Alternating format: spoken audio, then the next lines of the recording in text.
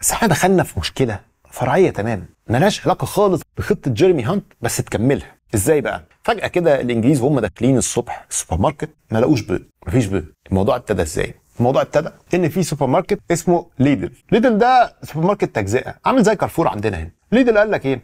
قال لك يا جماعة أي حد عاوز يجي يشتري بيض هنخصص له ثلاث كراتين. وعلى فكرة هو مش كراتين اللي هو زي عندنا هنا اللي فيه كام بيضة. لا لا بتتكلم أربع بيضات مثلا. فقال لك أي حد هيشتري هياخد ثلاث كراتين. Lidl بعد كده قال لك لا هم كرتونتين. بعد كده برغم التضييق ده كله الناس بتخش Lidl ما بتلاقيش بيض.